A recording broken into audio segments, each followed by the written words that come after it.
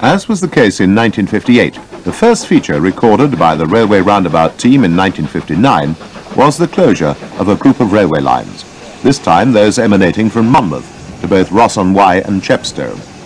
The first location visited was Ross-on-Wye, where the Monmouth Auto Train left from the Bay platform.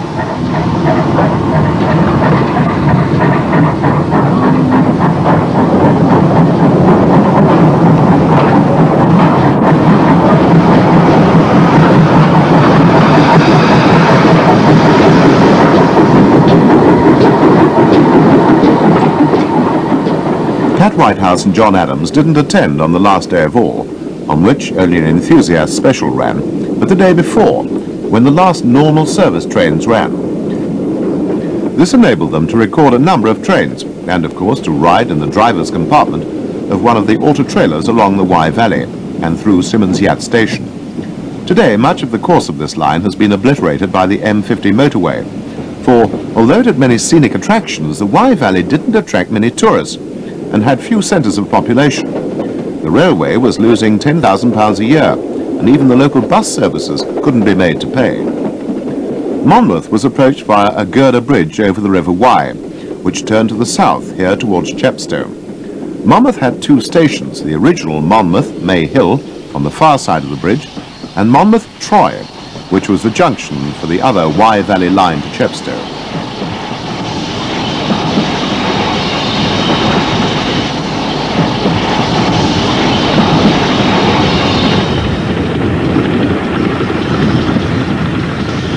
The standard locomotives on the Wye Valley lines were the Collett 1400 auto tanks and the familiar pannier tanks on the Chepstow line.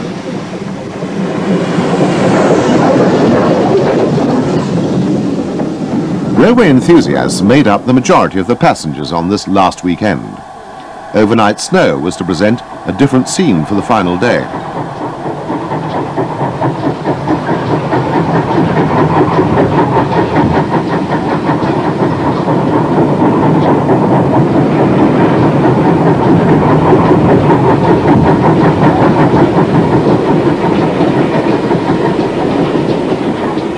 On the Gloucester to South Wales main line, Chepstow was the junction station for the 13 and three quarter mile branch to Monmouth, following the meandering Wye Valley.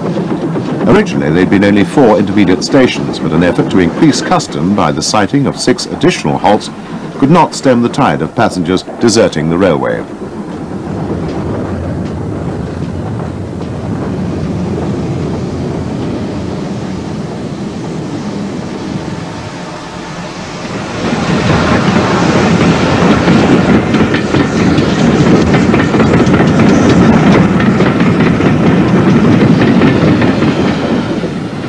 Redbrook was the last station before Monmouth and only had good sidings with no passing facilities.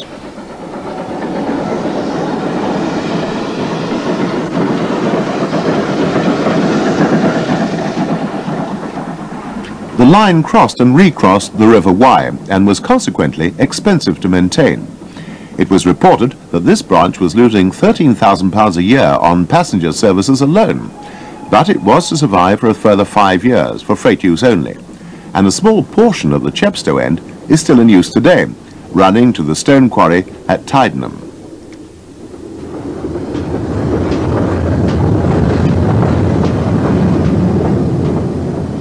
Monmouth Troy had once been a through station, but the line through the tunnel to Pontypool Road had seen its last passenger services in May 1955.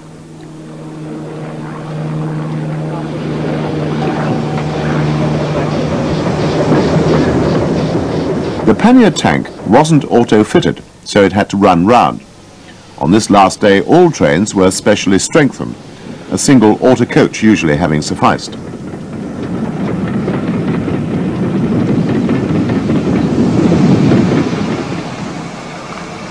As the evening drew in, the last trains were prepared at Monmouth. The first of these to go was to Chepstow.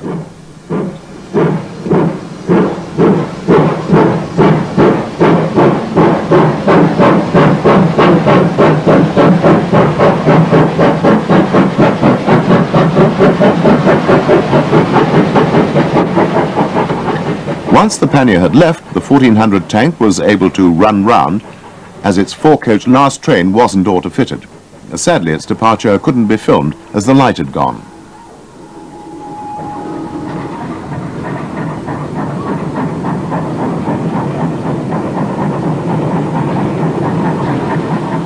A relic of the Victorian era was the next target for Pat Whitehouse. The 240 wheel arrangement was effectively obsolete by the 1890s, but the Great Eastern Railway produced what was to become the last surviving type of this wheel arrangement in the 1890s. Known as intermediates, they were classified as E4 by the London and North Eastern Railway. Originally, there were a hundred in the class, but by 1959, only this one survived in use as Cambridge's pilot.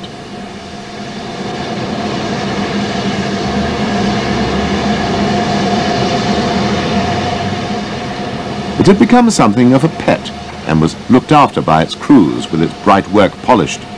The Cambridge University Railway Club had often hired it at weekends for use on the Mildenhall branch. The letters RA2 under its number signified that it had route availability number 2 which meant it could go on almost any lines.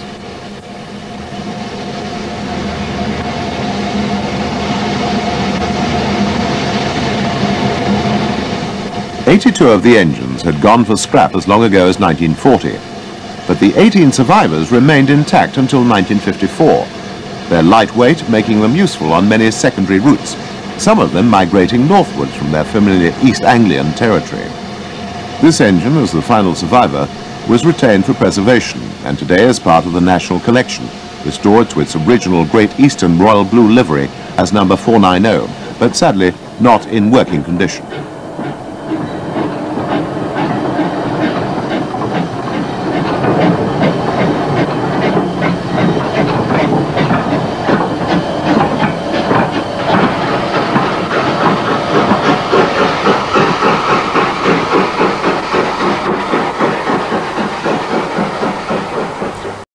railway roundabout duo of Pat Whitehouse and John Adams were natives of the Birmingham area, and consequently they were well placed to film a special train organised by the local area group of the Stephenson Locomotive Society, which was to visit a number of lines in the Birmingham suburbs.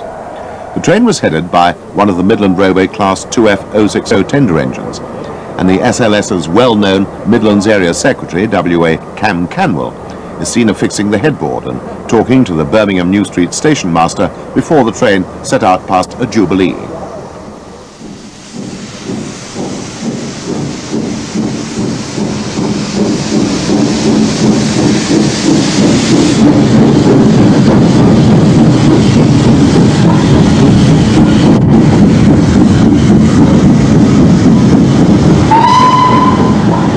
A second 2F brought up the rear of the train as the first destination was the Harborne branch, just a few miles to the west of New Street, which boasted a 1 in 66 gradient.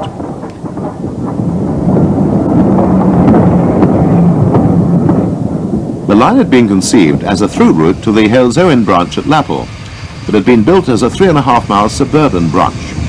It had remained independent until 1922, although worked by the London and North Western Railway from the start, and had been highly successful. It was the best paying suburban branch by far, and before the First World War had 27 trains each way daily. However, it was an early victim of bus competition and lost its passenger services during the economic depression of the 1930s on the 26th of November 1934. In those days, railways still carried a large proportion of freight traffic, and the little branch survived on this business until November 1963, a further 29 years.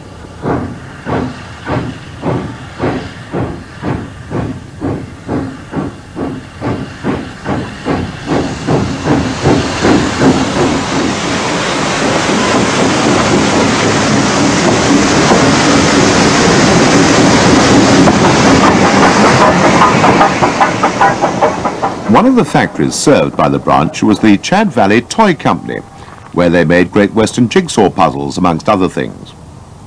Birmingham was served by three main railways, the London North Western, the Midland and the Great Western. The latter's route to the southwest was joined to the North Western at Smethwick West Junction. The Great Western lines are in the foreground, to the left leading to Handsworth and Birmingham Snow Hill, whilst the line in the background, up which the SLS special is proceeding, was the connecting spur to the LNWR from New Street. This line remains in use today for services to Stourbridge, Kidderminster and Worcester.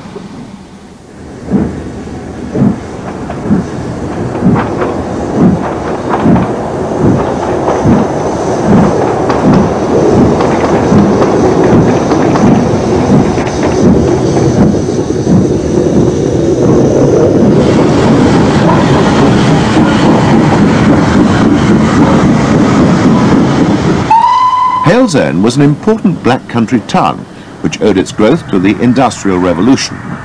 Unfortunately, it had been bypassed by the line to Stourbridge and had consequently been served only by a single line branch that ran between Old Hill on the Stourbridge line and the Midland Railway main line at Northfield, six miles to the north of Bromsgrove, to which a further line had been projected from Halesowen but never built. The station at Halesowen was at the foot of banks in both directions, the severe gradients necessitating banking engines. A third Midland 2F was provided to bank the special, which had arrived from the Old Hill direction. Hale's Halesowen Station had not seen timetable public trains since 1927, when trains from Old Hill had ceased. The line from Hale's Halesowen itself to the Midland Main Line was jointly owned by the Great Western and the Midland Railway, and had lost its passenger services as long ago as 1919, although the stations remained in good condition. This was because for nearly 40 years unadvertised workmen's trains continued to run, being provided by the Great Western from Old Hill to Longbridge, just short of the Midland Main Line, where the Austin Car Company had their works. These had been withdrawn in September 1958, but the line continued to carry freight traffic until 1964.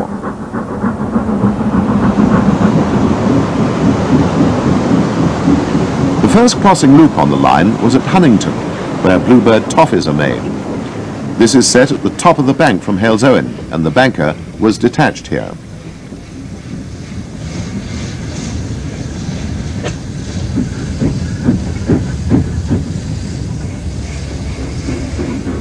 Finally, we see the special running through the complex of lines at the Longbridge Works. Three shunting engines were kept here in the shed on the right.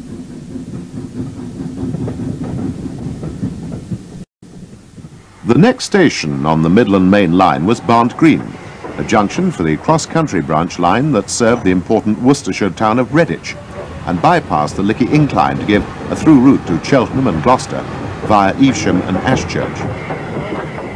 Coming off the main line at Barnt Green is a train from Birmingham New Street, headed by one of the famous Fowler compounds. This engine had been especially rostered for the cameras in order to make this film for Railway Roundabout. This shows how the railways cooperated with Pat Whitehouse and John Adams. By this time, Railway Roundabout had established itself on television, and British Railways management was realizing the publicity value of a TV program, aimed as it was at both boys and adults. The live commentary given by Pat and John was tailored to have an educational benefit, and scenes were shot to illustrate various points, such as these of watering and handing over the token at Redditch. The railway was single line beyond the town, and only the driver in possession of the token was allowed to run his train over the stretch to which the token referred. This was and remains the standard practice for working single-line railways, although today the tokens are electronic signals rather than physical pieces of metal. The tokens were exchanged manually, either when the train was stopped in a station or, if not travelling too quickly, on the move. The token was put in a pouch attached to a large hoop which then could be slipped over the engineman's arm. Each section of the railway between signal boxes would have a token or staff inscribed with the names of the section to which it applied. Various methods were adopted to synchronize the tokens with signalling and point work, but the most common took the form of a key, which could be inserted in a mechanical apparatus to unlock the appropriate levers to enable the train to proceed. The system in use here was known as token full block. The locomotive number 41157, built in 1925 by the North British Locomotive Company of Glasgow, was cleaned up for its television stardom and worked the train for two days for the cameras. As mentioned earlier, it was built to the design of Sir Henry Fowler, the second LMS chief mechanical engineer, and the design was a development of Johnson and Deeley's Midland compound first produced in the early 1900s. The onboard camera was in use on one run and captured the arrival at Broome Junction, small country junction station where the former Stratford-upon-Avon and Midland Junction Railway came in from the east. This line had a colourful history, but the section from Stratford to Broome Junction was to close in 1960. It had lost its passenger services in 1947.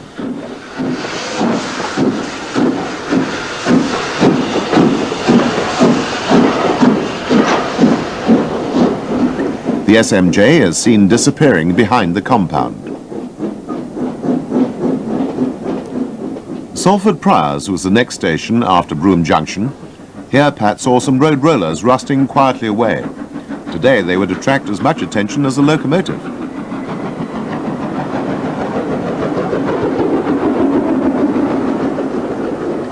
These engines were the first LMS express passenger engines and were soon hopelessly underpowered for the increasingly heavy mainline trains.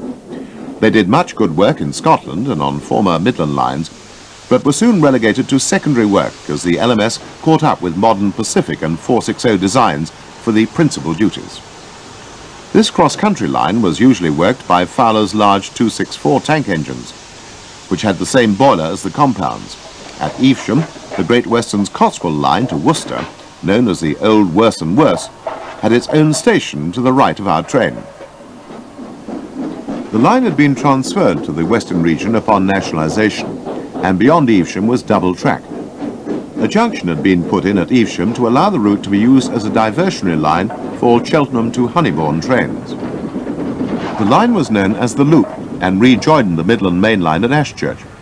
It was used as an alternative route for freight trains avoiding the Lickey Incline, but was never engineered to express standards becoming redundant in the 1960s as it duplicated both the Midland Main Line and the Great Western one via Honeybourne, the latter also being axed by Dr. Beeching. It closed to passengers in 1963, with freight finishing in the following year. Whilst number 41157 was destined for the scrap heap in 1960, the first of the line, number 41000, was destined to live on. Here we see her in her final British Railways guise at Crewe Works before being taken to Derby for a complete overhaul and restoration.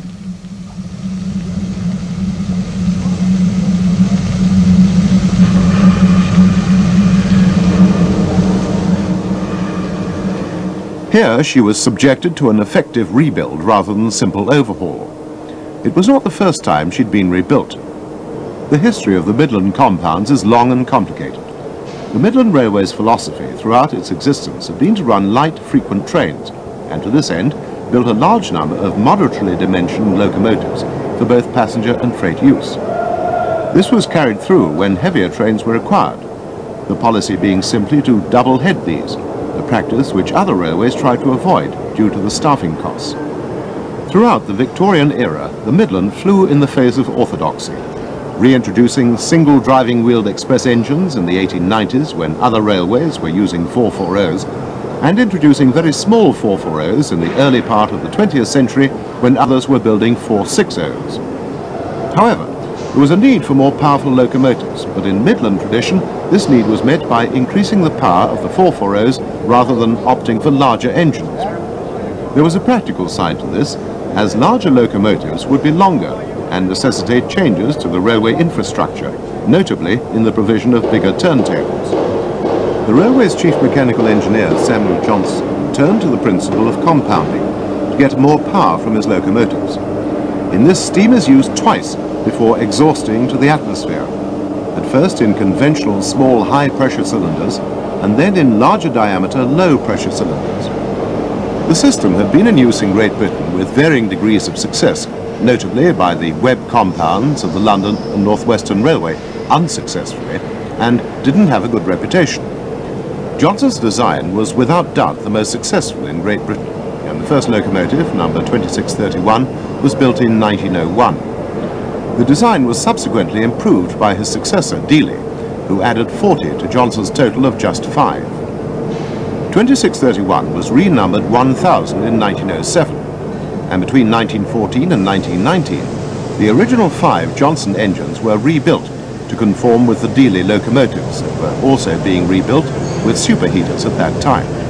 Thereafter, all the engines were effectively one class, and the magnificent number 1000 which emerged from Derby Works in 1959, was representative of the final Midland Railway express locomotive design, rather than an original Johnson engine.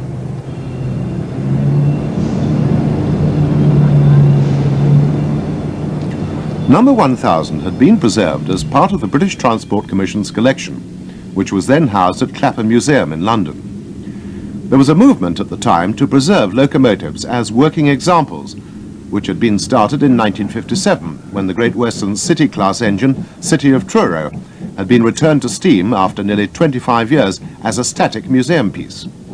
It's interesting to note that while number 1000 in its original guise had been built in 1901, the Great Western engine was two years its junior, but the Midland engine went directly from service to a working retirement.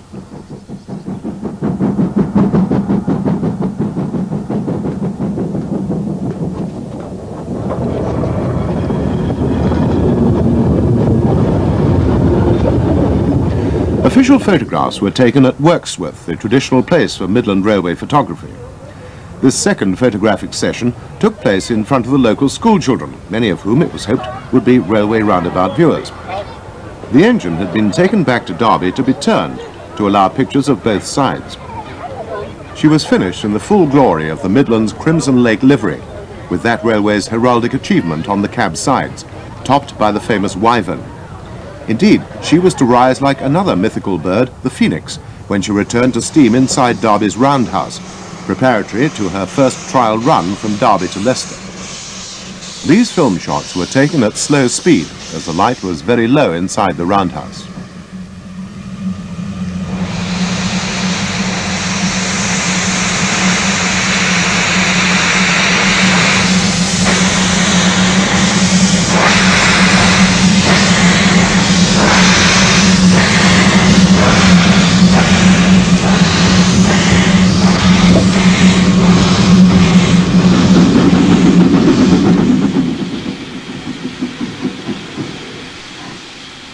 Trial run started from Derby Station.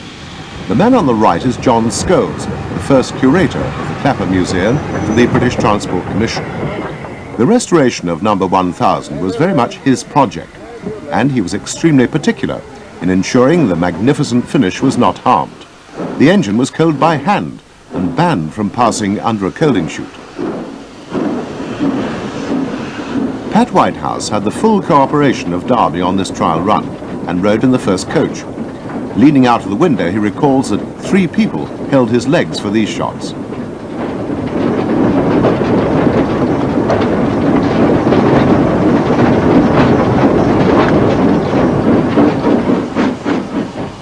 The outward trial finished at Leicester Midland Station, the locomotive was then turned and ran back to Derby, where it was, of course, originally built and rebuilt.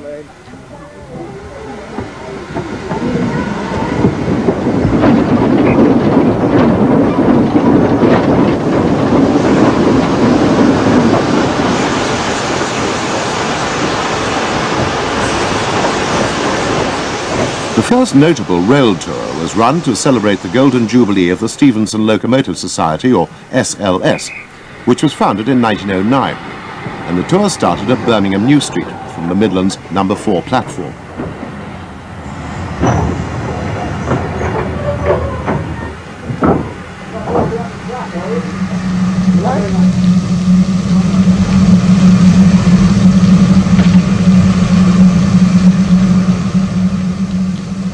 Train ran north via Derby Midland, where it paused for photographs, and then carried on to the north via Ambergate, Clay Cross and Sheffield Midland Station, another photocall.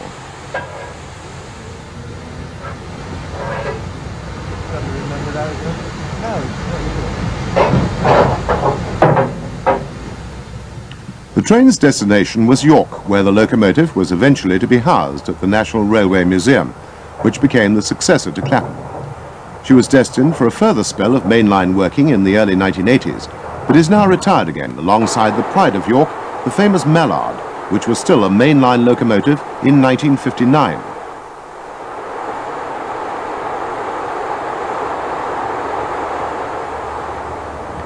Number 1000's mentor, John Scholes, was instrumental in drawing up the famous British Railways list of historical locomotives for eventual preservation, which of course included both number 1000 and Mallard. Today that list forms the backbone of the collection of the National Railway Museum at York, where these locomotives are preserved for the benefit of the nation, along with the railway roundabout films themselves, from which this series of programmes has been prepared. Scottish locomotives enjoyed their own preservation programme, which is based on Glasgow Transport Museum. In the late 1950s, a number of historical Scottish locomotives were preserved in working order and were used for a series of trains in connection with the 1959 Scottish Industries Exhibition, held alongside Kelvin Hall Station on the northwest side of Glasgow city centre. The first of the quartet of Scottish engines is the Caledonian Single, which is followed by the Great North of Scotland Railway 440 Gordon Highlander. A Stanier Coronation Pacific stands by at Glasgow Central as two other historic locomotives reverse out of the Caledonian's terminus. The Scottish quartet had been augmented by the Great Western City of Truro, making its furthest ever trip north, and a highly unusual pairing with the third Scottish locomotive, the North British 440 Glen Douglas.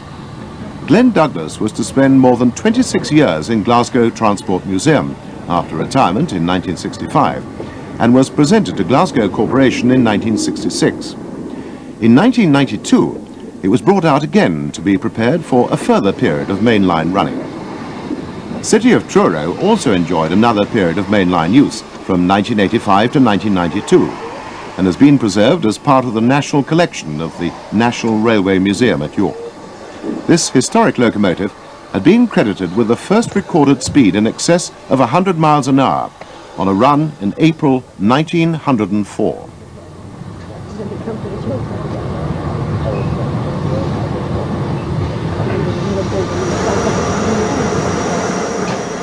Perhaps one of the most elegant 440 designs of all was the Great North of Scotland Railway's Class F.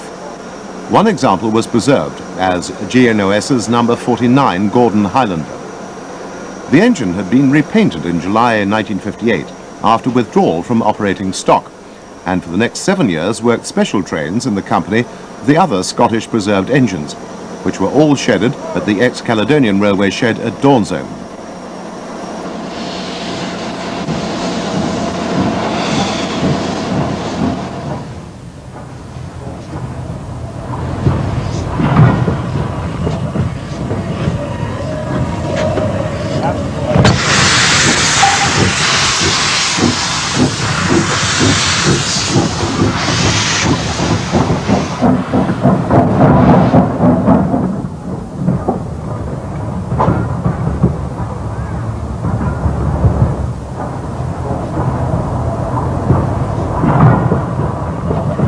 Caledonian single number 123 was a unique machine. It was obsolete before it was built, but was a one-off exhibition machine built in 1886 by the Glasgow firm of Neilson and Company for an exhibition in the city at which it won a gold medal. It was based on the design of the then current Caledonian 440s, altered to have just a single driving axle. After the exhibition it was sold to the Caledonian Railway and achieved further fame in the railway races to the north in 1888. It was withdrawn in 1935, but retained as it was the last single driver in service. It was returned to working order in the year of this film, 1959, and this was one of its first appearances. The final Scottish historical locomotive was the Highland Railway 460 or Jones Goods. This was the first 460 design in Great Britain and acquired its sobriquet after its designer's name. It was the first of a series of 15 engines numbered from 103 to 117 for the Highland, which later became part of the LMS. That railway withdrew the class between 1929 and 1940, but preserved this engine in view of its historical importance. It was originally painted in Highland Railway green, but when returned to traffic in 1959, it appeared in Stroudley yellow, a colour it sported for a short while after it was built. This exhibition was one of its earliest appearances after its return to use. It retired once again in 1965 and has not yet returned to work. One of Scotland's most famous routes is that from Fort William to Mallaig in the Western Highlands. It was comparatively recently built, opening in the early part of this century, and it opened up one of the most beautiful parts of the country to tourists. In the shadow of Ben Nevis, trains set off over the original West Highland line as far as Mallaig Junction, where they turned northeastwards towards Banavie, where the railway crossed the Caledonian Canal, which connected Fort William to Inverness.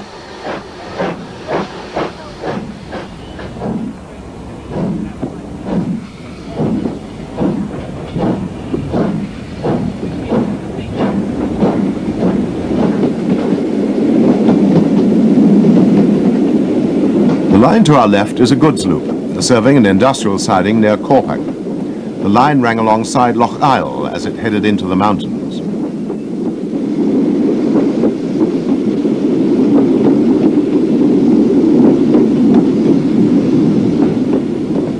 After leaving the loch side, the line begins to climb towards Glenfinnan on gradients of between 1 in 50 and 1 in 60.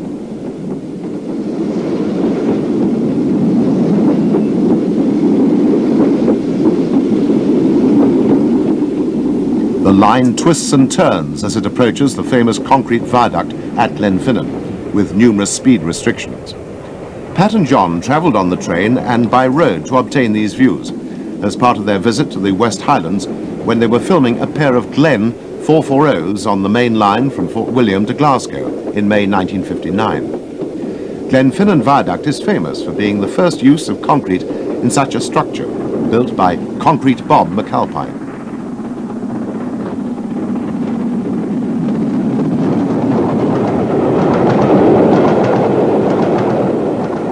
Note the fish vans at the back of the train.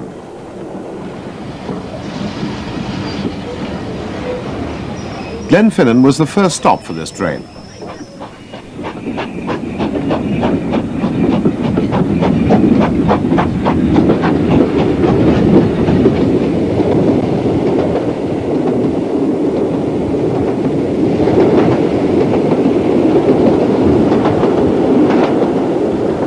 Here the train is approaching the top of the climb after Glenfinnan, the last part being 1 in 70. Lochailort was passed non-stop.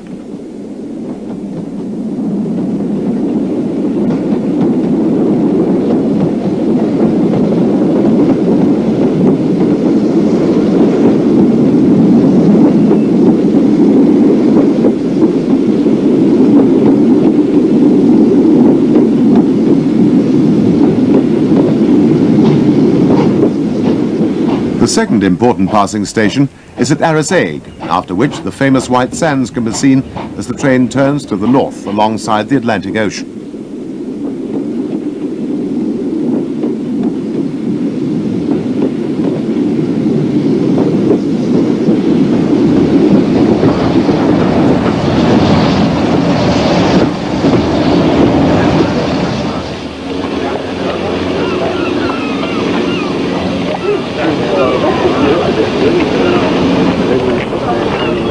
Mallaig is famous for its kippers, and fishing has always been its principal trade. The station is set alongside the small harbour where the hardy fishing fleet was moored. At this time, rail tracks led along the harbour's jetty, and fish traffic was an important source of revenue for the railway. Fish vans often ran in passenger trains, but always at the back. Mallaig's other seafaring business was the ferry trade to the Isle of Skye, operated by MacBrayne's Shipping Company, something of a Scottish institution.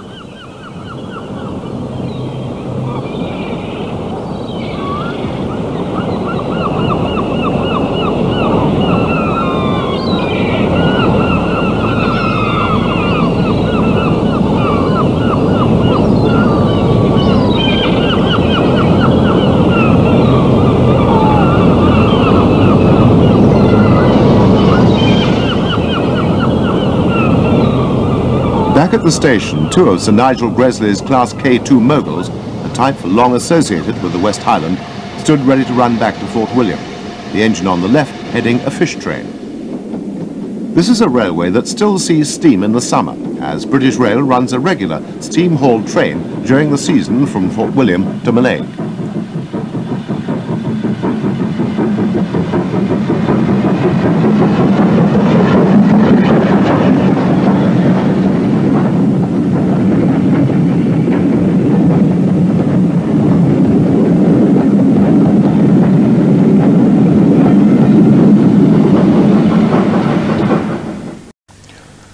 Perhaps the most famous electric train of all was the Brighton Belle, the Southern Railway and later Southern Regions all Pullman electric multiple unit train, which ran from London Victoria Station to Brighton.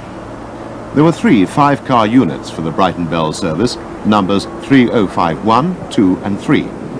The Pullman Car Company's British workshops were at Brighton, so they were able to keep a watchful eye on them. The mechanical side of the trains were the responsibility of the Southern, whilst the passenger accommodation was Pullman's. The units were painted in the standard Pullman livery of chocolate and cream, elaborately lined out. First-class cars bore female names, whilst third and later second-class cars merely bore numbers. The Brighton Belle units were of both classes, the driving cars at each end being second class. The Pullman Car Company's income came from the supplementary fares charged, and for this the traveller was entitled to a reserved seat service from uniformed attendants, and an at-the-seat meal service at all times. The train attracted a regular clientele, who became very attached to its old-world charm, based on Edwardian standards of travel, a jewel amongst the standardized electric trains that shared the Brighton route. The railway roundabout camera crew went to Brighton Station in 1959 to film the train at the height of its popularity. It had commenced running on the 1st of January 1933 as the Southern Belle, but the name was changed to Brighton Belle 18 months later. It continued to run until the 30th of April 1972, the only break being during the Second World War. The normal formation was 10 cars, the third unit being kept as standby. This also allowed the train to operate as normal when any one of the units was undergoing overhaul. Some off-peak services were formed of one unit only, they never ran any scheduled services other than the Brighton one throughout their careers, although they were occasionally used to form specials.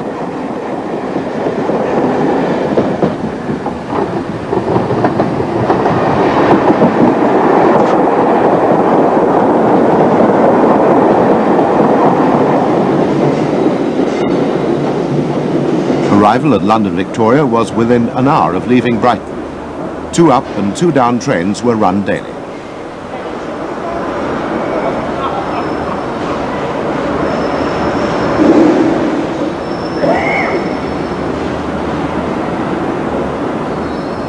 All 15 Brighton Belle Pullman cars exist today. Some of them still work regularly out of Victoria Station in the British formation of the Venice Simplon Orient Express. Others are used as restaurants or as coaching stock on preserved railways.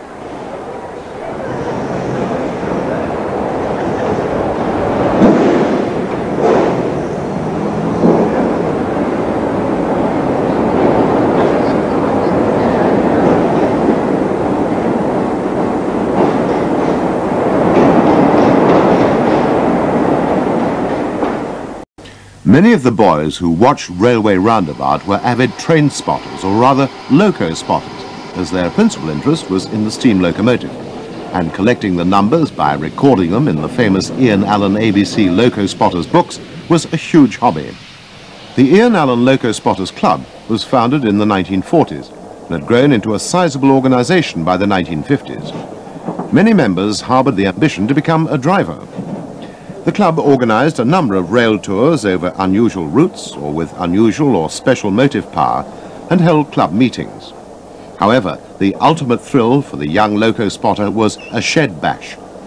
Again, these were organized by the club, but many a railway enthusiast of today can recall the back ways in through broken fences, and perhaps the tip of the shed foreman's boot as they left the premises rapido.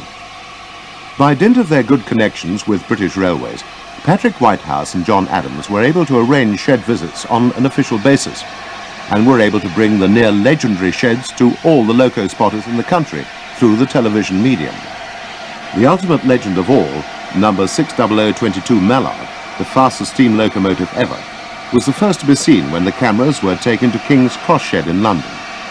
This was the principal metropolitan shed for the Eastern region and its forebears, the London and North Eastern Railway and Great Northern Railway and it was always known colloquially as Top Shed.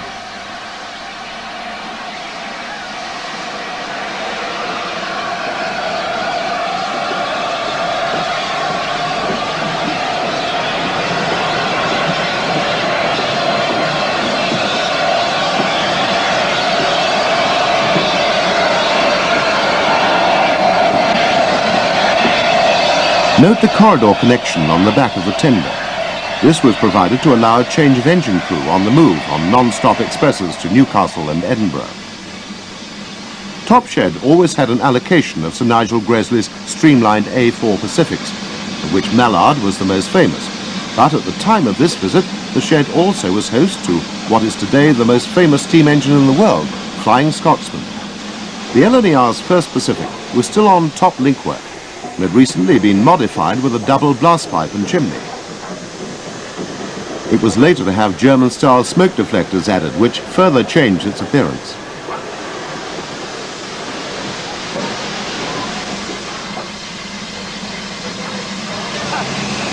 Abbotsford was one of the post-war developments of LNER Pacifics, belonging to A.H. Peppercorn's A1 class.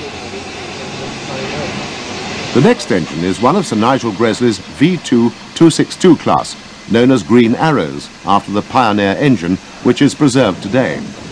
Although classified as mixed traffic, this V2 is painted in the full express passenger lime green livery.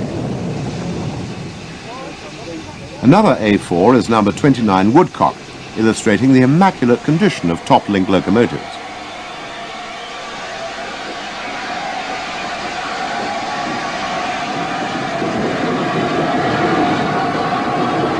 By contrast, the suburban tank of Class N2 is decidedly unkempt.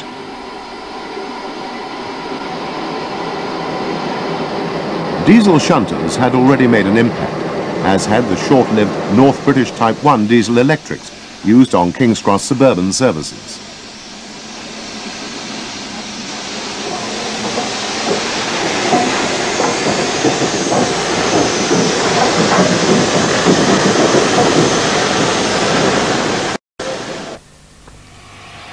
By contrast, our next shed bash, also in the former London and North Eastern or LNER Railways territory, was to British Railways' latest high-tech shed at Thornaby on Teesside.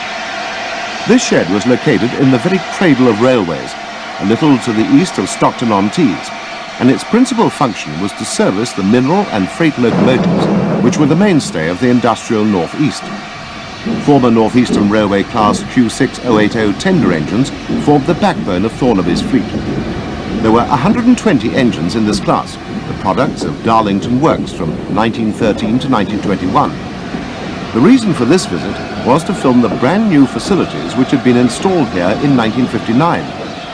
Even as late as this in the steam locomotive's career, British Railways still needed to invest in new infrastructure. Thornaby was the jewel in the steam railway's crown and was completely constructed in that brave New World's material, reinforced concrete. Overhead water gantries and underlit pits were borrowed from the latest American practice, and every effort had been made to make the environment of the shed as clean as possible. A very difficult thing to do in a place as inherently dirty as a steam locomotive shed.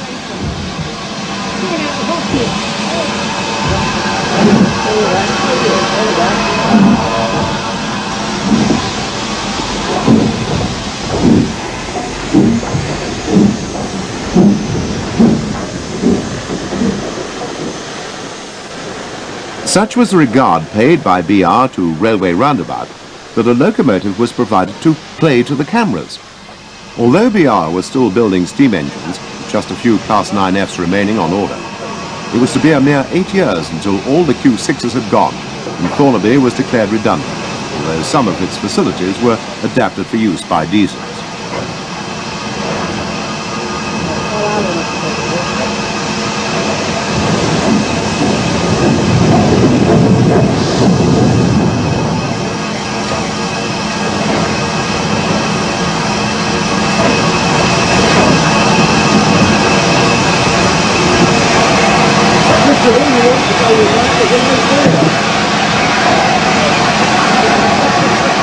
The depot had two power-operated turntables. Traditionally, turntables were hand-operated or utilized the vacuum ejectors of locomotives.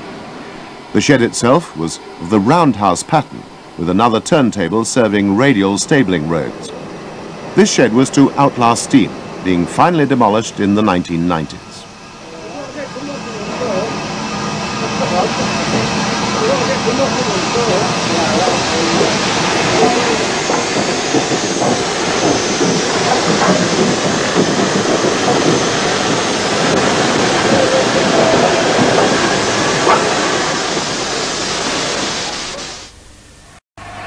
Our final shed bash in 1959 takes us back to Birmingham, home of Railway Roundabout and of the Midland Railway's Saltley Shed. This was the largest shed in the Birmingham district and was situated a short distance to the east of Birmingham New Street Station, alongside the Midland's main line to Derby in the north. In 1959, its allocation still included classic Midland designs, such as these 3F and 4F060s, as well as the most modern motive power.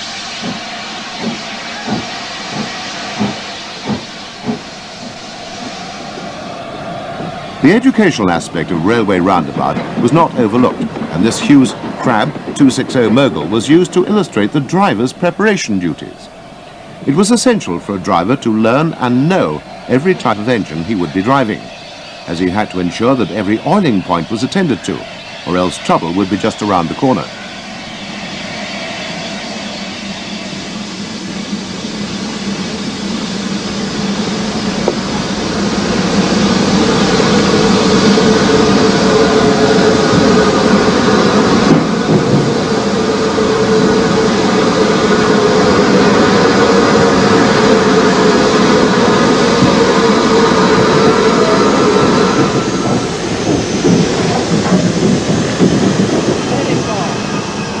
Another locomotive was picked out at Saltley to illustrate a feature.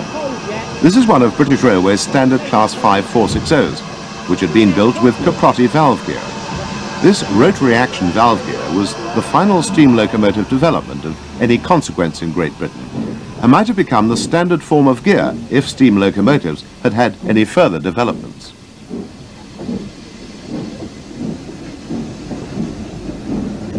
The shed had a number of Stanier's three-cylinder 460-5X or Jubilee class engines for mainline work to both Derby and Sheffield in the north and Bristol in the south. The shed itself was a double roundhouse and had both freight and passenger locomotives on its allocation.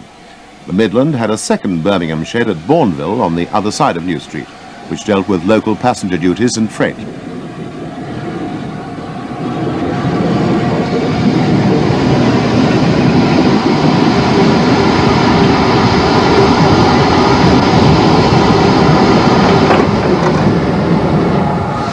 Principal LMS design of heavy freight engine was Sir William Stanier's Class 8F, a number of which were shedded here.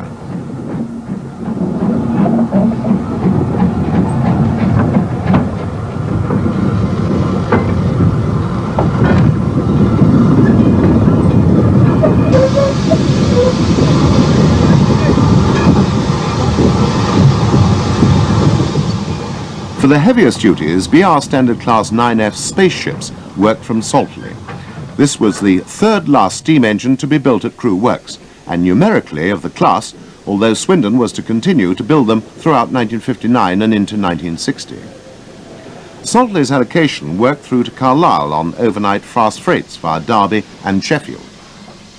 Two earlier members of the class illustrate the only obvious alterations made to the design, the shape of the tender and the fitment of double chimneys to the last built engines.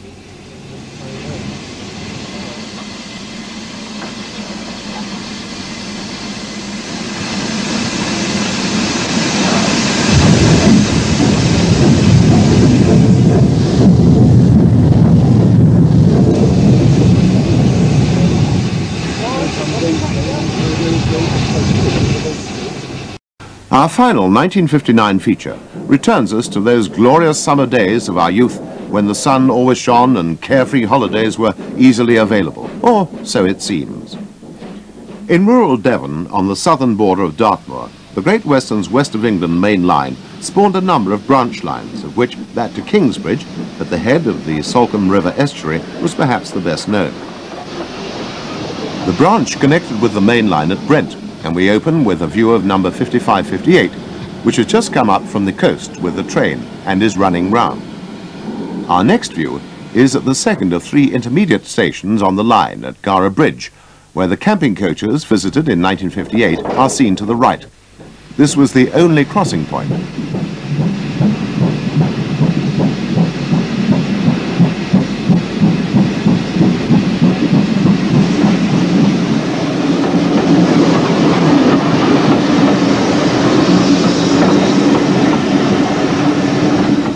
Loddiswell was the station between Gara Bridge and the terminus at Kingsbridge. It also boasted a camping coach in the goods yard.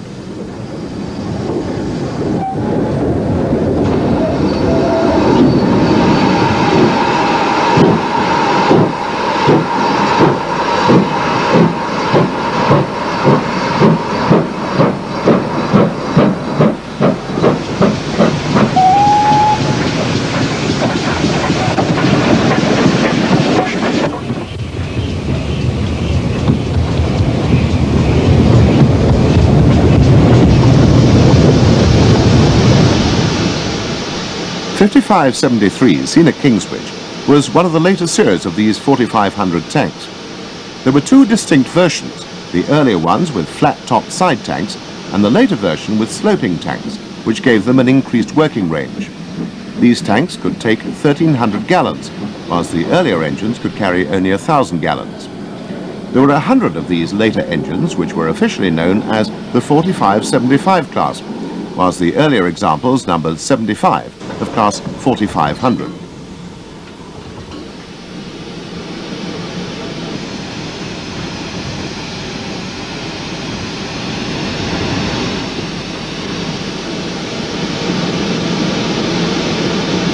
The yellow spot with the letter C on the cab side was the Great Western's route code and power classification system.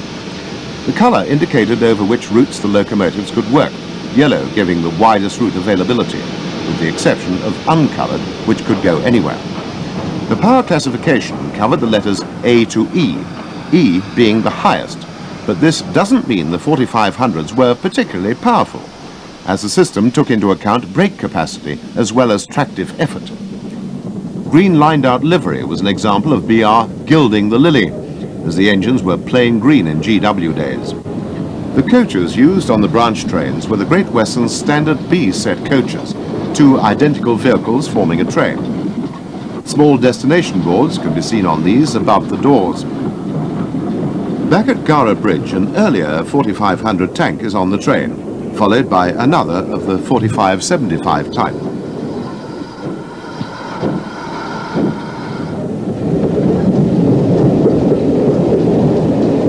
The branch was the first choice of a group of enthusiasts wishing to preserve a West Country branch line when it was threatened with closure in 1963. But sadly, BR removed the track before agreement could be reached, and the Dart Valley line was saved instead. Our last shot is back at Brent, where a palm tree sums up the Great Western's image of the English Riviera.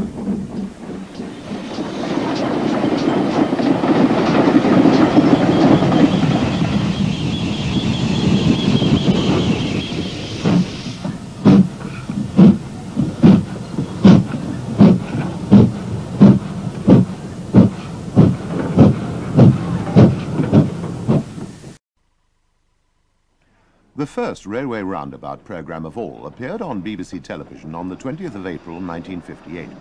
It featured a film recording the closure of a railway, an event that was to become all too familiar in the years to come. The railway which closed at the beginning of 1958 was the former London and North Western Railway and later LMS and Western Region route which served the South Wales coalfields. This was known as the Heads of the Valleys line as it rang along the north side of the range of mountains which contain the coal on which the prosperity of the region had been built. It ran from Abergavenny, where we see the train being prepared. In Victorian days, the height of private enterprise and business competition, the Northwestern had provided the competition to the various private South Wales railways and the Great Western, which dominated the coastal end of the valleys.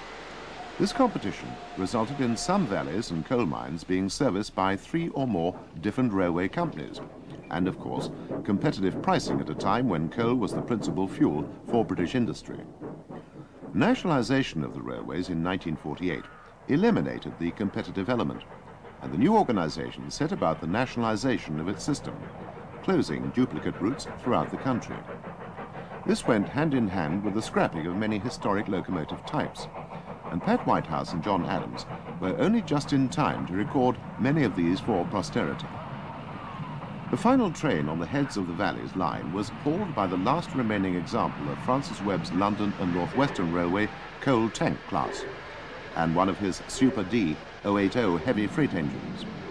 The train had been organised by the Stephenson Locomotive Society's Midlands Area branch, which was very active in the 1950s and 60s, ensuring that many branch lines and cross-country lines, such as this, were visited by special trains. It was a time when railways were still the main form of transport for many, but also when enthusiasm for railways was growing, evidenced by the popularity of the railway roundabout programs themselves. The train commemorated not only the closure of the main line, but a number of branches as well. The engines ran down the short branch to Ebbw Vale and returned by pushing the train back to the junction at Beaufort. The coal pits were to remain served by the western region.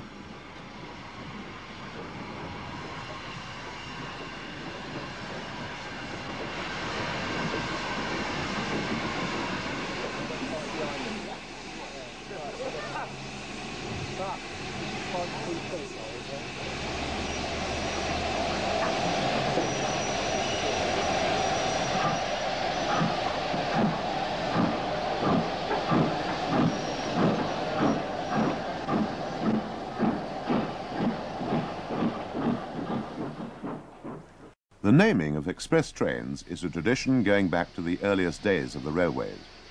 In the 1950s, the Western region's principal expresses were the Cornish Riviera Express, serving the West Country, and the Bristolian, serving the Great Western Railway's raison d'etre, Bristol. In 1958, the railway roundabout cameras went to Bristol's Bath Road locomotive depot to see the train being prepared.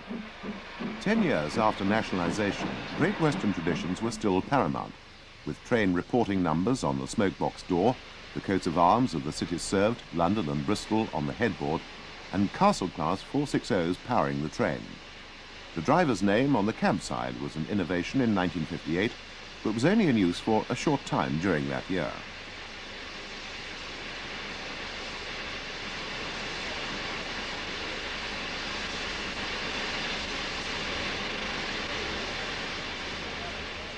This film serves to show just how much preparation was needed for a Top-Link Express locomotive in the days of steam. It was the driver's responsibility to ensure that all oil reservoirs were filled, known as oiling round. This also involved going under the locomotive to deal with inside valve gear and cylinders.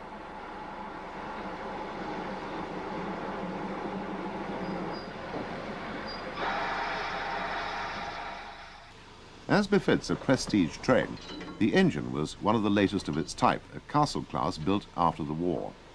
It sported a flat-sided tender of the Hawksworth pattern, which was filled with water before moving off to collect its train.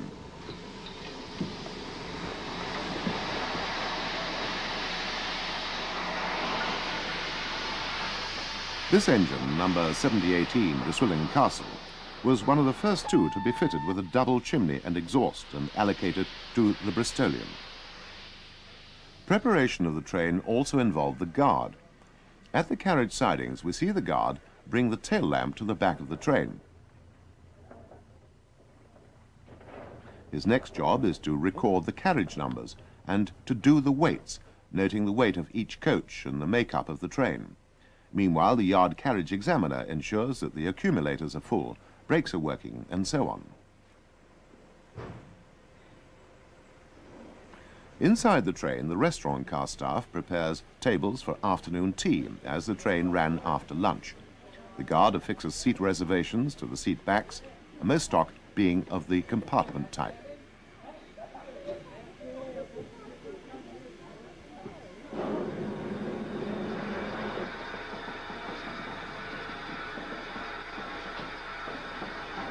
With the engine coupled on, the guard gives the driver the weights, for example, 10 for 350 means 10 coaches weighing 350 tons. The train ran into Bristol Temple Meads station from the southwestern end. The coaches were mostly the most recent British Railways standard type, but painted in the Great Western livery of chocolate and cream, used from 1957 on the Western region's named expresses only. Headlamps over each buffer indicate an express passenger train, an 82A on the small oval plate on the smoke box, a Bristol Bath Road locomotive. The fire is built up to the firebox door in true Great Western fashion, and the train is ready for a prompt departure.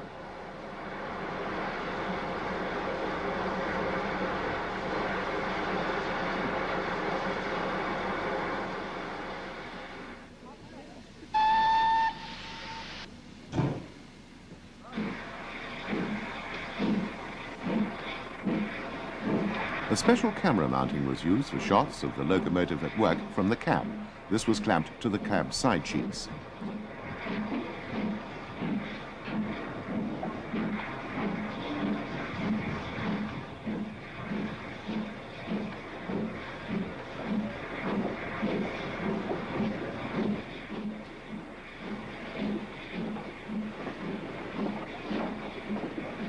Inside the train, afternoon tea is served. The dining car was an original Great Western vehicle in this train, and uniformed attendants still gave silver service. The train ran via Filton on the Badminton route through Swindon and Reading to London. It was the only train booked to run at 100 miles an hour in the 1950s, and as such, quite a celebrity.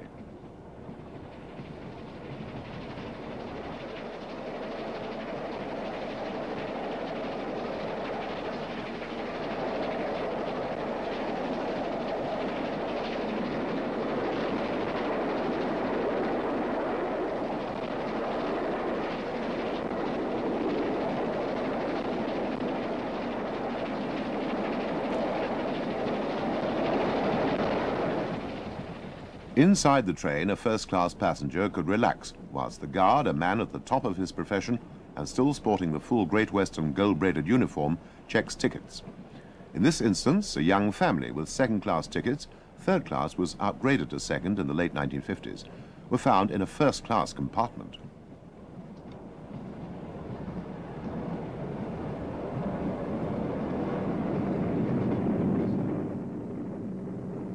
At speed, there was considerable vibration on the footplate.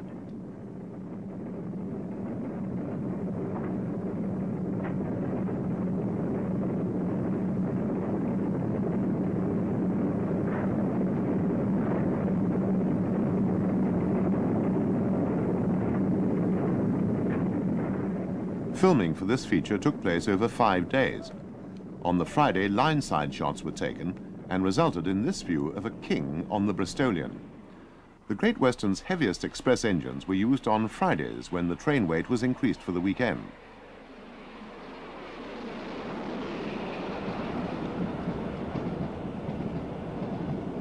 Inside, the guard makes up his log.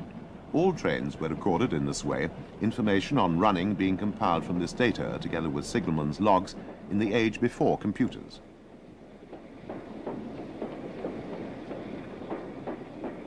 Finally, we run into Brunel's great masterpiece Paddington Station, passing pilot engines. From the platform, we see the other double-chimneyed castle, Earl of Mount Edgcumbe, arriving with the Crack Express.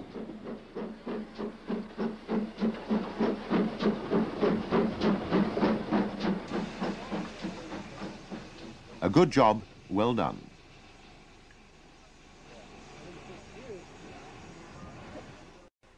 Later in the year, John Adams filmed a branch that was the antithesis of the Bristolian, the Cardigan branch in rural southwest Wales. This was a classic small Great Western terminus with a single platform station served by a one-coach train, to which had been added a single box van. Note the various railway staff in their uniforms. Even a small station like this had a station master, porter, ticket office staff, signalman, shunters, and so on.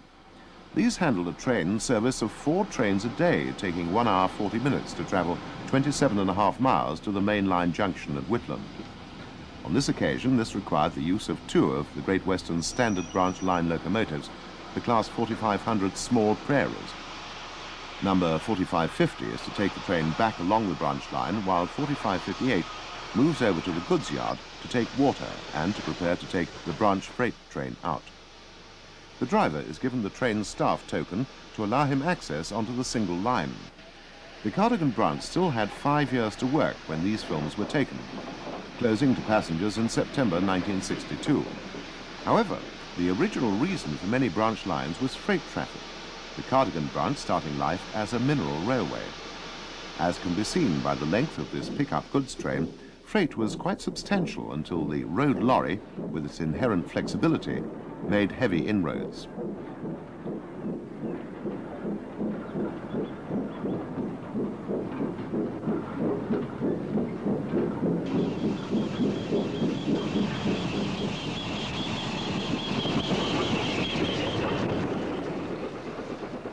This had been taking place throughout the 1950s, and during the time that Railway Roundabout was on the air from 1958 to 1962, the drift became a flood, destroying the railway's economics. Freight traffic survived a mere eight months after the passenger traffic had gone. Passenger trains were normally handled by the Great Western's last design of light passenger tank engines, the 1600 small panniers, number 1637 being the regular engine at this time. Note the single lamp under the chimney denoting a local passenger train.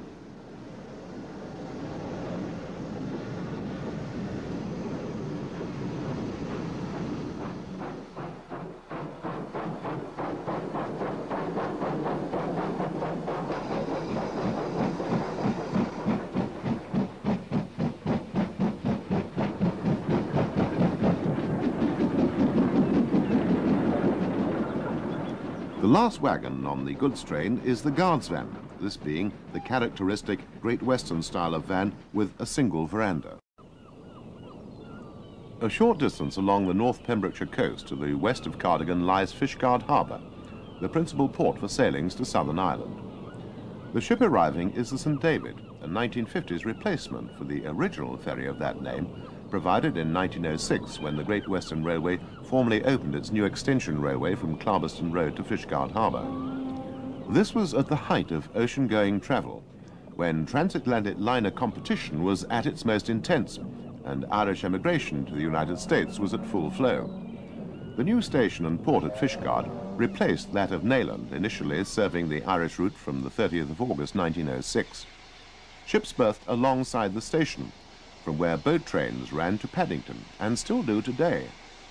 This is Knowsley Hall, waiting with the stock of the Capitals United Express, a portion of which served Fishguard.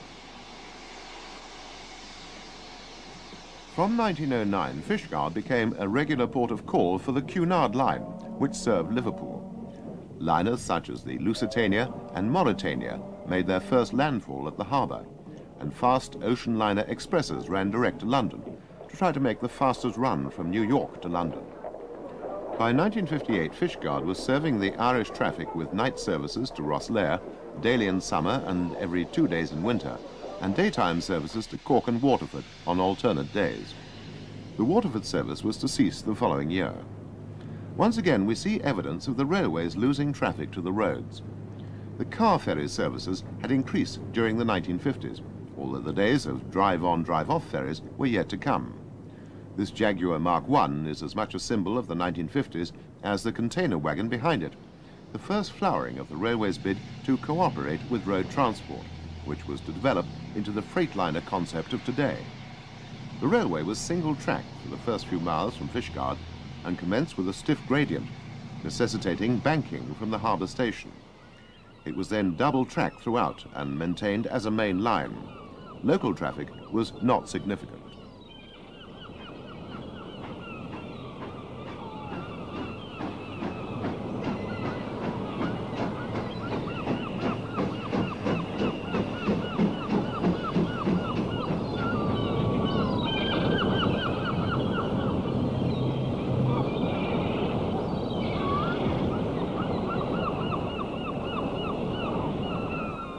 Pat Whitehouse took the ferry to Ireland in order to film the activity on August Bank Holiday 1958 at the fair held in the small town of Ballinamore, which was also the principal town served by the Cavan and Leitrim Railway, one of Ireland's famous narrow gauge network, which had been decimated in the 1950s. The C&L was the last survivor of this network, as its purpose was to transport coal from the mine at Arigna for use in Ireland's coal-fired power stations. It was to survive another two years, closing in 1960. The mine at Arigna was at the end of the Drumshanbo branch, which left the main line at Ballinamore, where the railway's works were situated. It had acquired a number of engines from other Irish narrow gauge lines, numbers 3 and 4 coming from the Tralee and Dingle. The engine on the left was an original C&L 440 tank.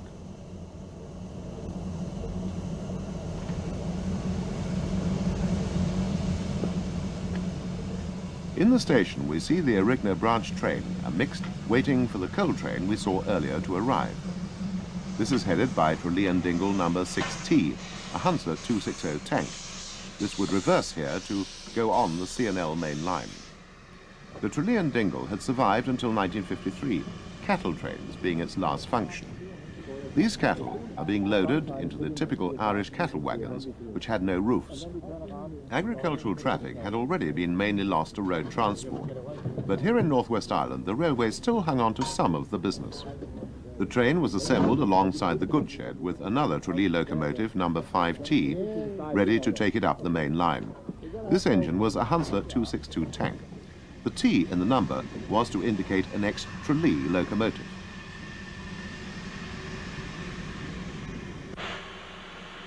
The branch train is held to await a mainline one from Dromod, behind a former Cork, Blackrock and Passage 242 tank. Dromod was on the Sligo to Dublin Main Line, and the C&L formed a link between that line and the Great Northerns Line to Belfast. Once again, the train is a mixed passenger and freight train. Rural Irish communities in the 1950s were very poor and still relied on rail transport, but not for much longer.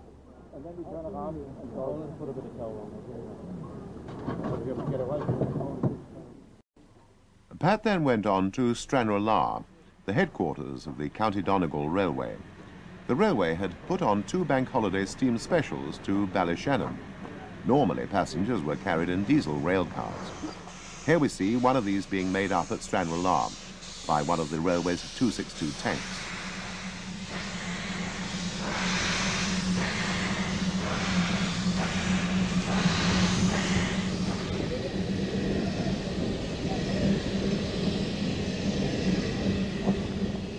In this poor country, passengers would feel the loss of their train services. This railway wouldn't see the 1950s out, closing on the 31st of December 1959. The general manager, Barney Curran, never turned a passenger away. One of them was so drunk, Mr. Curran put him in the cab in front of the fire in order to sober him up.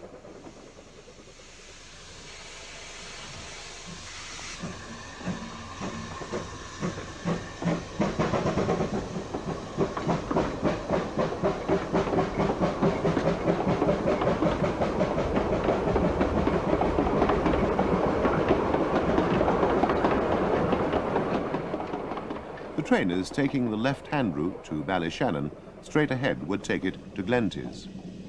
The line ran over the mountains past Lough Eske to Donegal town, passing the halt at Lough Eske. This was the Barnsmore Gap, and the weather wasn't very kind.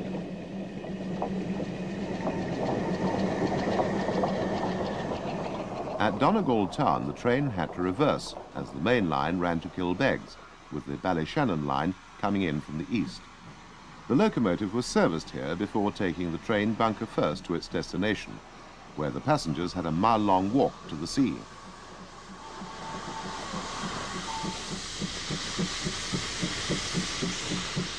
Note the special saloon in the background at Ballyshannon.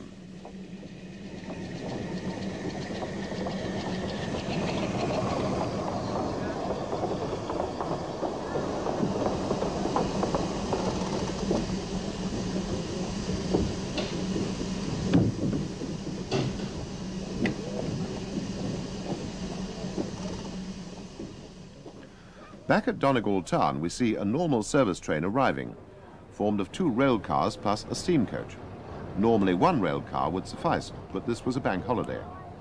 The rail cars had to be turned, complete with passengers, as they were single-ended vehicles. The driver's cab was a separate unit, mounted on the four-coupled chassis, but articulated the passenger cabin. Two of these machines survive today, having travelled halfway across the Irish Sea to the Isle of Man, where the splendid Victorian Isle of Man steam railway continues to find a use for them. With both rail cars now turned, an additional coach is added to the train, which sets off over the mountains alongside Donegal Bay. These rail cars were used very much like road buses, with steps down to ground level allowing them to stop anywhere, not just at conventional stations. But even they failed to save the day for the charming Irish narrow gauge.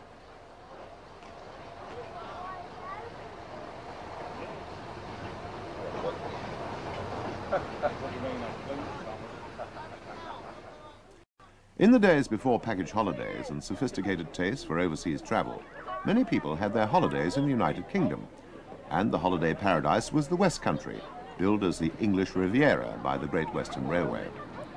To this end, the railway provided holiday accommodation of its own to supplement the hotels and boarding houses of Torbay, Newquay and St Ives. At a number of small wayside stations, redundant coaching stock was parked in sidings and connected up to local services, the resulting camping coaches providing very cheap holidays at a time when youth groups and schools were first arranging holiday programs. Many boys were loco spotters and, of course, were the target audience of the railway roundabout programs. A holiday in a railway carriage was thus something very special, complete with loco spotting.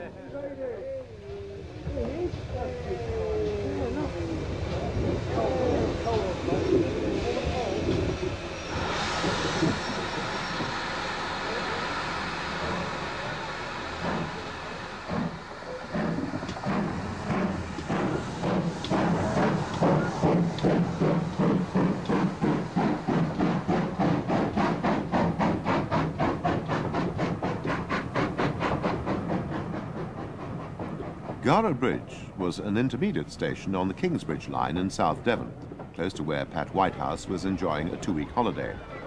He went to the little station on the Saturday to record these scenes of a time and innocence now gone forever. Although the delights of Paignton or Plymouth were easily reached by train, the revellers appear quite happy to besport themselves in the river or the fields beside the station. The coaches themselves were former mainline corridor stock, which were brought to the line at the beginning of each season and returned to Swindon at the end of it for winter maintenance and overhaul. The signal on the right gave access to the camping coach siding.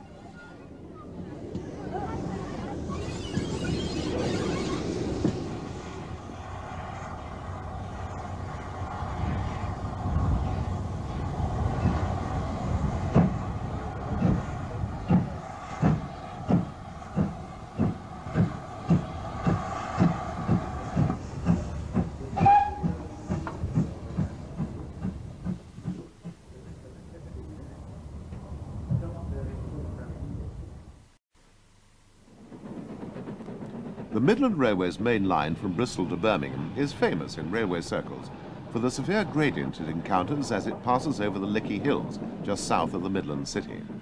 The top of the climb is at Blackwell, where we join some loco spotters as they view two British Railway Standard Class 5 460s, the second coming up the bank with a Standard Class 9F at the back.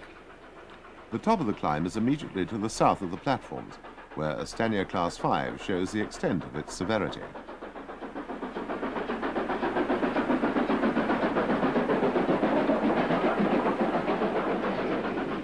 On the back of this train is a Western Region Class 4200-280 tank, number 5226, which dates these sequences after May 1958. The Midland Main Line had been placed in the Western Region after nationalization in 1948.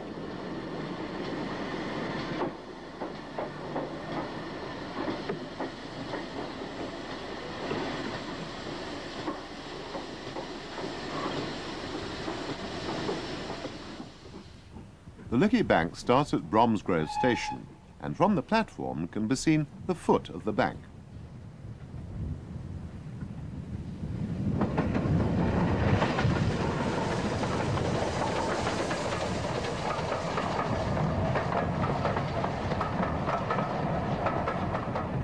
Banking engines would come down the bank light engine, frequently in convoy, especially when the line was busy. They were stabled in sidings to the west of the line.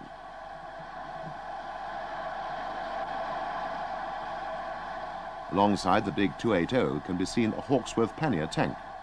These became the standard bankers under the Great Western regime, the 4200 only lasting a short while.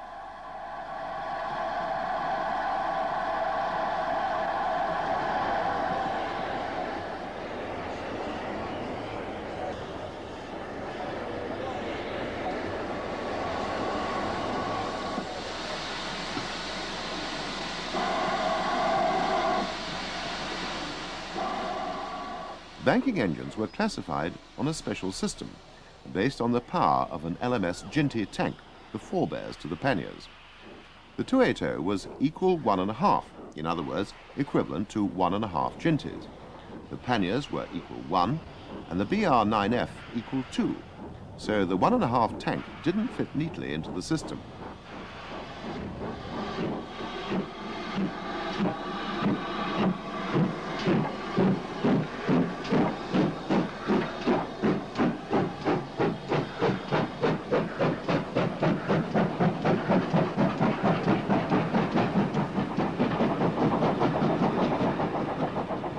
Most famous Lickey banker was Big Bertha, a unique Midland Railway 010 which had been scrapped and replaced in 1956 by a BR Standard Class 9F 210 This engine inherited Big Bertha's powerful headlamp for buffering up at night.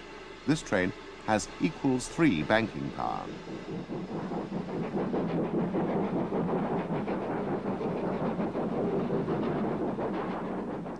The old order is seen here as two of the Jinties are passed by an LMS Class 2P 440 on one of the infrequent local passenger trains calling at Bromsgrove. These varied the pattern by having the bankers buffering up in the platform, as all other trains stopped outside the station. Even a four-coach train needed a banker, as the gradient was 1 in 37.7 for a distance of two miles.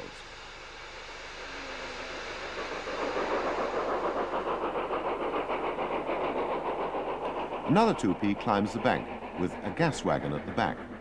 These wagons were used to deliver gas to railway stations before the national distribution system was installed. On the footplate of the banker, we see the procedure at the top of the bank as the train accelerates away from our Jinty. Banking engines didn't couple up for obvious reasons.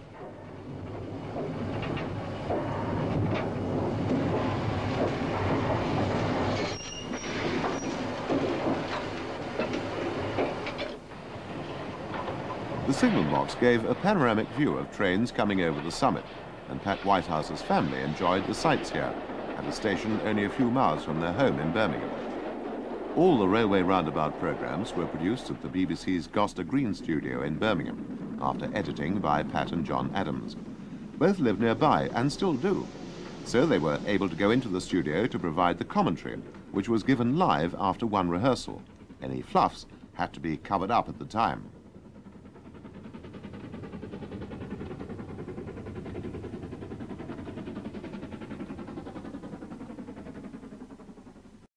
We remain at Blackwell inside the signal box to see the procedure for the control of trains on the Lickey incline. The up line from Bromsgrove was provided with an intermediate block signal to allow two trains to climb the bank at the same time. After Blackwell had accepted an up train from Bromsgrove, the train left under the gantry at the south end of the platform and was then under the control of the Blackwell signalman.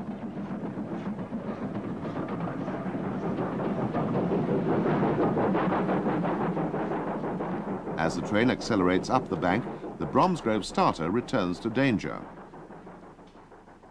In the box at Blackwell, the signalman pulls off to give the train a clear run through the section.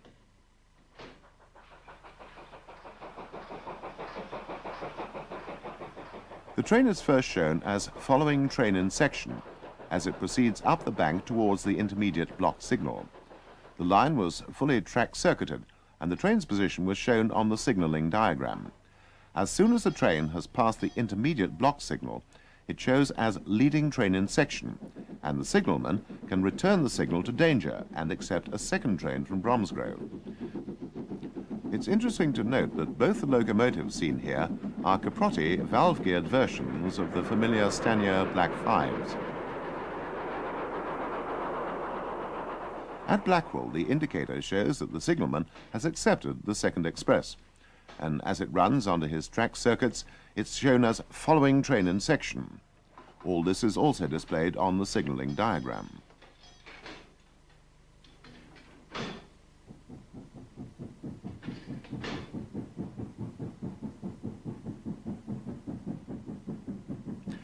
The leading train comes past the box as the signalman looks out to ensure that the complete train with its bankers passes his box.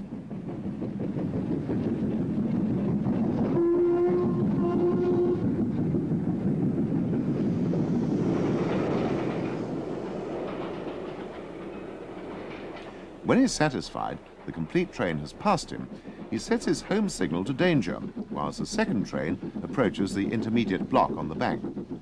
This can now be cleared to allow the train to continue its climb as far as the signal box. With the banker cleared out of the way, the road can be set for the second train to proceed without being held up, as the leading train will have accelerated away on the level beyond Blackwell, giving a clear run for the second train. The signal returns to danger, the bankers can reverse across to the down line to return to Bromsgrove, watched by the signalman. More than one banker at a time can be signalled in this way.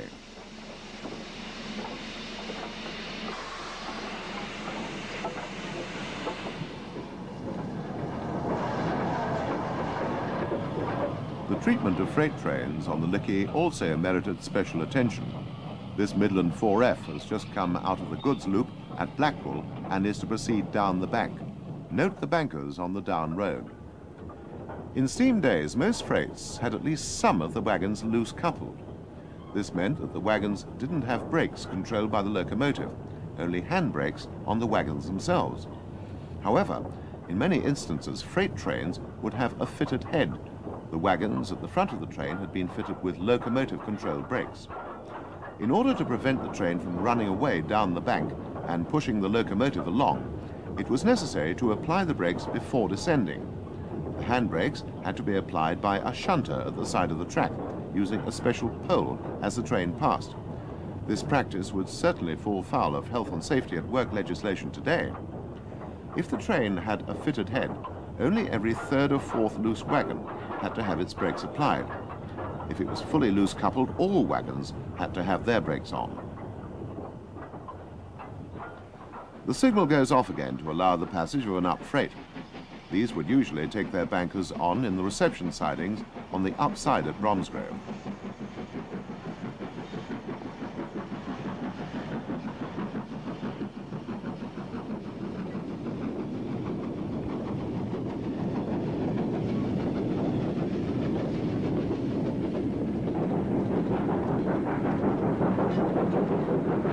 Finally, we see a pair of Jinty bankers returning to their base.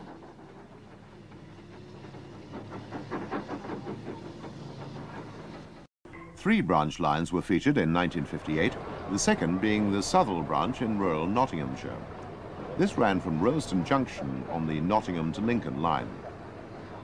The branch was well known in the late 1950s as it was the last haunt of the classic Midland Railway Johnson 044 tanks, which worked the branch on the push-pull principle. The line had once been part of a through route via Mansfield to Sutton in Ashfield, but the section to the north of Southwell had closed as long ago as 1929, although freight continued to run as far as Blidworth via Southwell. Southwell Station was the first on the line, and there were therefore no intermediate stations on the run from Rolleston. It was an ornate through station in Midland style, although only one platform was needed.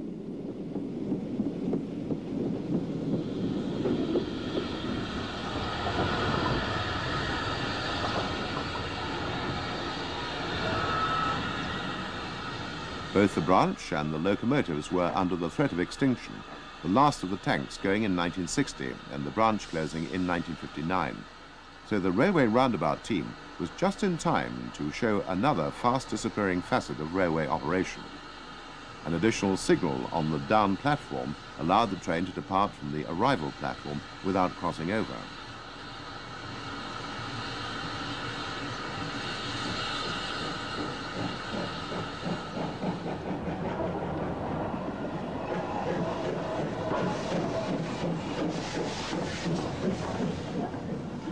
Back at the junction, the Johnson tank ran forward in order to cross over to the down platform. Note the Midland Railway signal to the left and the standard wooden-clad signal box in the background.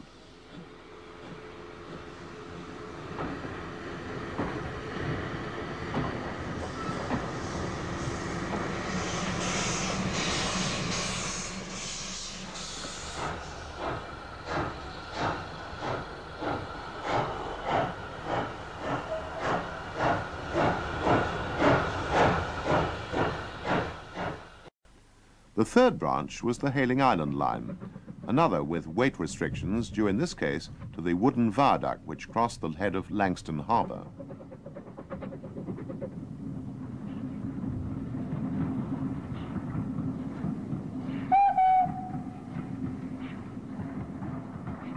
This little branch was well known in the 1950s as it was dominated by the famous London, Brighton and South Coast Railway class A1X Terrier tanks, built to the designs of William Stroudley from 1872 to 1880. They provided power for both passenger and freight trains on the branch, although this was one of the few lines in the 1950s where mixed trains with both passenger and freight vehicles in the same train were still permitted.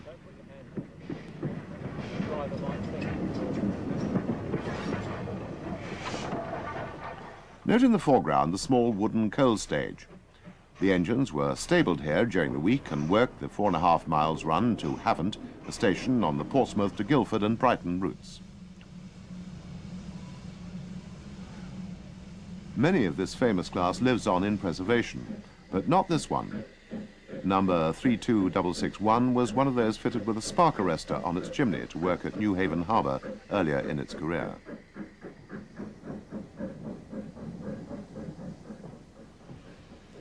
Rolling stock included both pre-grouping and British Railways coaches. These dwarfed the little engines, which were surprisingly powerful for all their diminutive size. In the summer, the line boasted a 15-minute frequency, but it was closed in 1963.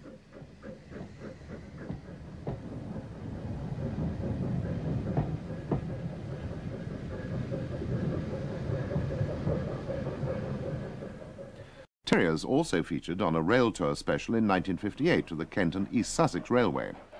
Here we see the stock being prepared at Robertsbridge, the junction on the Tonbridge to Hastings main line.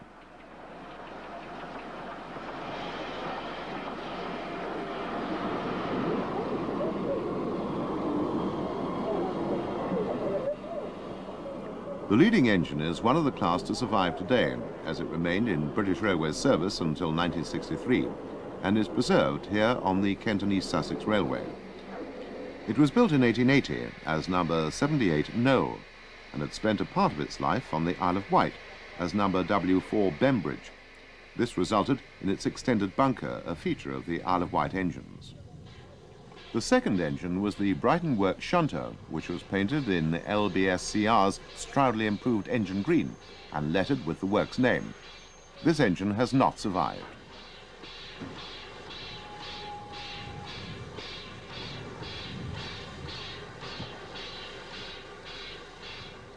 The train was organised by the Locomotive Club of Great Britain London branch and came down to Robertsbridge behind one of the Maunsell rebuilds of Wainwright's class E440s of 1905, number 31019.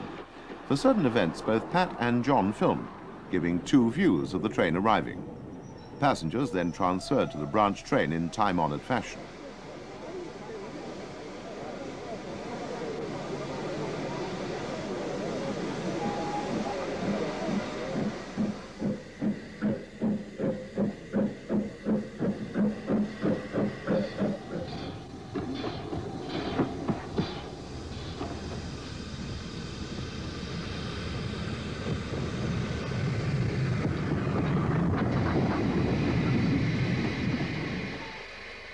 By this time, the Kent and East Sussex Railway was only used by freight trains as far as Tenterden, and by a summer-only hop pickers specials. It was, of course, destined to be preserved, the railway of today recreating the appearance of the rural branch line. The train is seen here at Northiam, the westernmost point of the preserved railway in the early 1990s. Again, two cameras recorded the departure.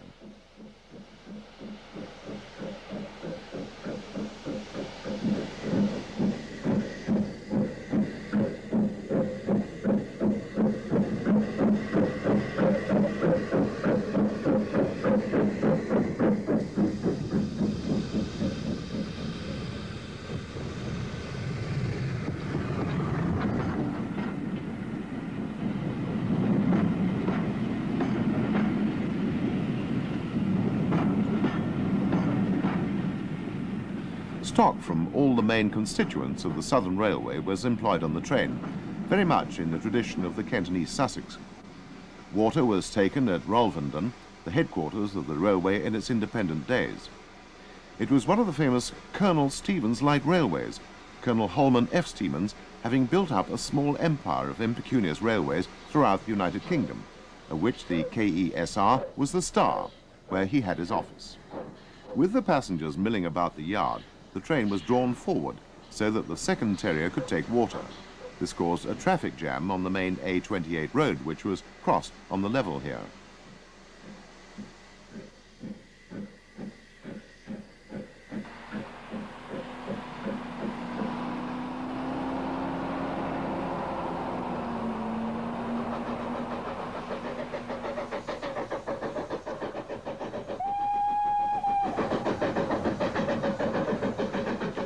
The train then climbed Tenterden Bank to the terminus of the line at Tenterden.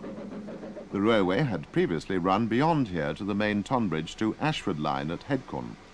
But this section had closed in 1954, the date when regular passenger services were withdrawn.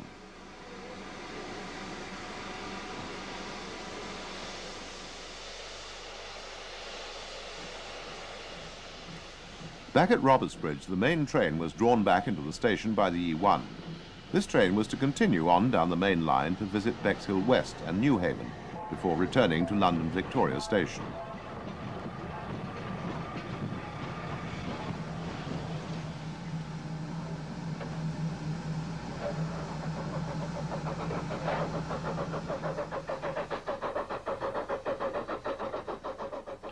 Top and tail working with terriers was common practice on special trains on the Kent and East Sussex, the hop pickers trains also employing this arrangement.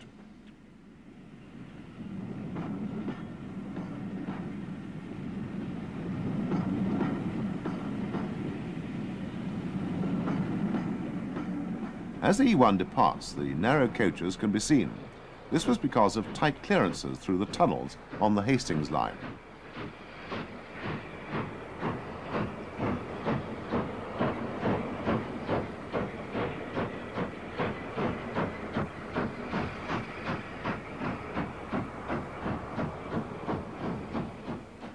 Our final feature in 1958 takes us to the docks again. One of the largest and most famous docks railway systems in the country was that at Southampton, which was owned by the railways. Particularly well known were the Southern Region's USA class of dock shunting engines, which had been bought as government surplus after the war. Fourteen of these machines roamed the docks throughout the 1950s. There was a tremendous variety of locomotives to be seen on the dock system, which was still working at its peak one of the Southern Region's Class 5 locomotives is seen bringing an ocean liner express into the docks, passing an ex-London Brighton and South Coast Railway E1060 tank, which is then seen at the watering point alongside a USA and another Brighton tank, a Class E2.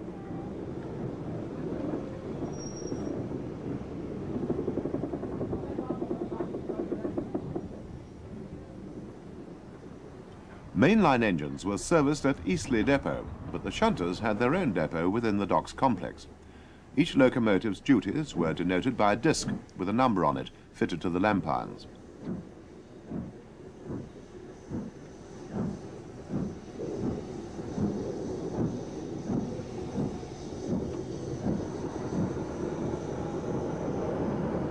Southampton Docks was very cosmopolitan. No doubt the sailors of this American merchant vessel would have felt very much at home when they saw the Switchers, or Class USA tanks.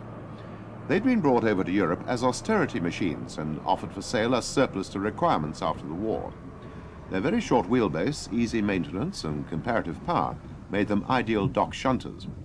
This engine was unique, being built by Porters, whilst all the others were built by Vulcan.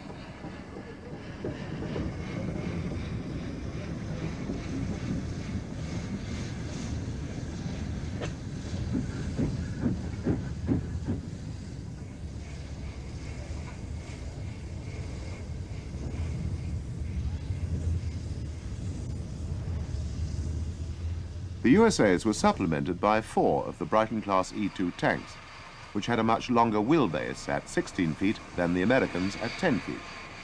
32109 had arrived in November 1956.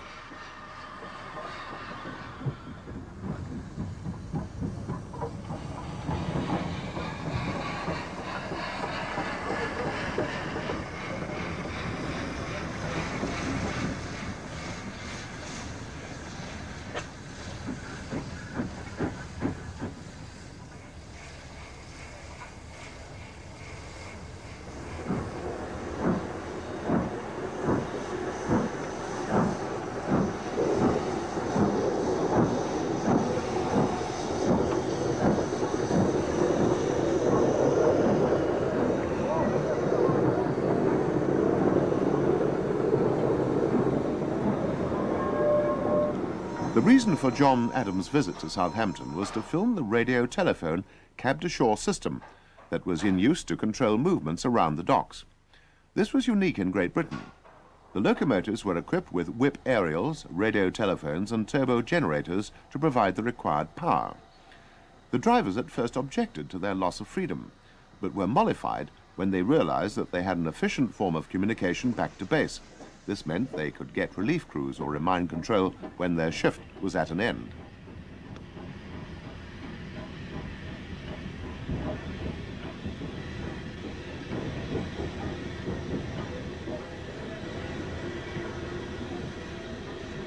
In addition to the transatlantic trade, the port of Southampton catered for much closer traffic. Channel Islands boats were met by Channel Islands boat trains, which were frequently headed by Bulleid light Pacifics. And it's number 34063 of the Battle of Britain class that we see partly in warehouse number 9. This engine bore the name 229 Squadron to commemorate the Battle of Britain heroes of the Second World War.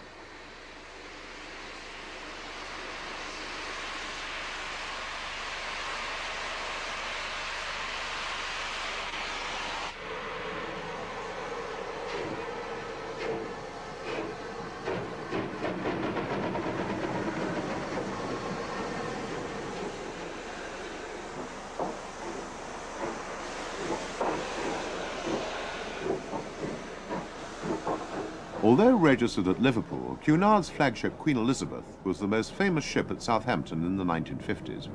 This magnificent liner, together with her sister ship Queen Mary, ran a weekly service from Southampton to New York, in competition with United States liners. So important was this traffic to the railways, even after the war, that a new ocean terminal had been built specifically to cater for the huge liners. This was considered to be a major project in its day, and it had two railway tracks feeding directly into it, so that passengers had as little hardship as possible when transferred from ship to train. Special trains were run, usually with headboards. Maunsell's Lord Nelsons monopolized this traffic, and his equally famous King Arthurs were also to be seen on this work.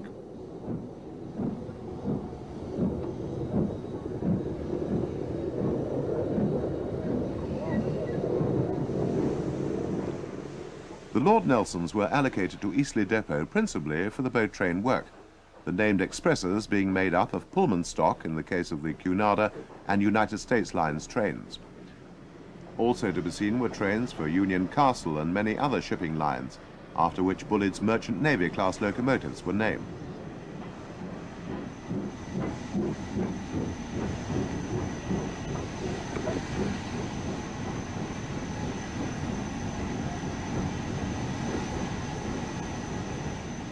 Three double O seven four was the last of the USA class, but four of them have been preserved.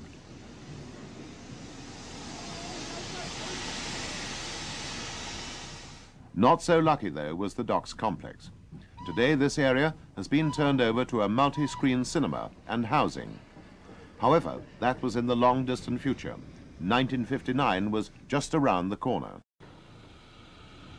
The family resemblance between the Jinties and the Midland Railway Class 2F 060 freight engines shows the direct linears that ran through Midland and early LMS design. One of these is seen at Halesowen, a joint station where a branch from the Midland Main Line four miles to the north of Blackwell ran to Halesowen to an end-on junction with the Great Western from Old Hill on the Stourbridge to Smethwick line. The locomotives were shedded at the Midland's Bournville shed, and only these 2Fs and smaller 1Fs were allowed to work on the line due to weight restrictions imposed by the spindly Dowery Dell viaduct.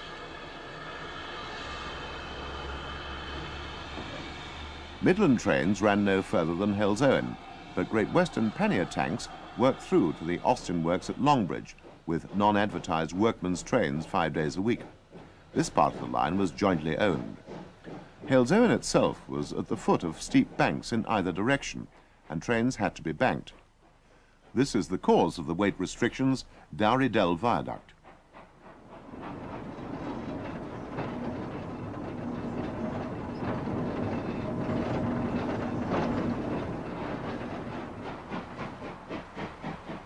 The line closed from Halesowen to the Austin Works at Longbridge as late as 1969, although the workman's train ceased in 1958.